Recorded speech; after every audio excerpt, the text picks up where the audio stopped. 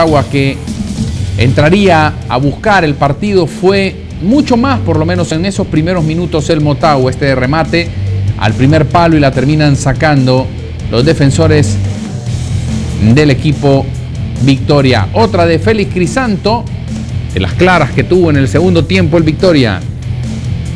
Otra más para el equipo de la Ceiba. Esta es la que decía Sí, Jorge Pineda. Se la perdió ahí Eric Andino. Ganaba 2 a 1 el Victoria. Funciona bien la pantalla, el pase que llega entre los dos zagueros del Motagua y el toque de Eric Andino que no encuentra feliz término. Y va a llegar esto.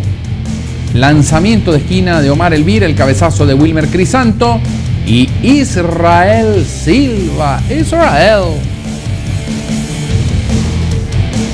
El brasileño lo termina notando muy bien lo de Crisanto. El aporte Crisanto es fundamental. Es el que cabecea al segundo palo y aparece solo. Dio las dos asistencias para los goles, Crisanto. Así es, así es. Los últimos tres goles del Motagua han llegado después de un pase de Crisanto.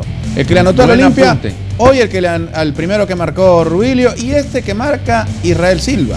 Muy, o sea buena- que es muy buen apunte, Carlos, porque el cabezazo es de Crisanto y aparece en el segundo palo solo Israel el brasileño Israel Silva. Este puede ser el, el inicio de una racha. Este era para que hiciera el taquito ahí, Rigo Padilla. Si estás ahí en una zona. Bueno, pero también está destapado Crisanto. Era Claro. difícil estaba Portilati, pero Félix Crisanto pudo hacer algo diferente. Esta la generó Motagua, la hizo bien, el centro. Pero atento estaba Domínguez para cortar el centro. Ya se presentaba Israel Silva.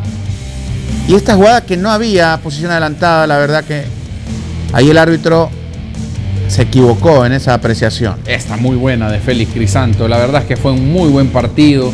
El remate abajo y Sebastián Portigliati que evitaba.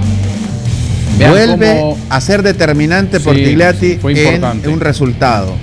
Y esta es la última, en una falta de Neri Medina en contra de Sebastián Portigliati. Así finalizaba el partido 2 por 2 en la Ceiba, en un muy buen encuentro entre Victoria y Motagua. Gran espectáculo de los dos equipos.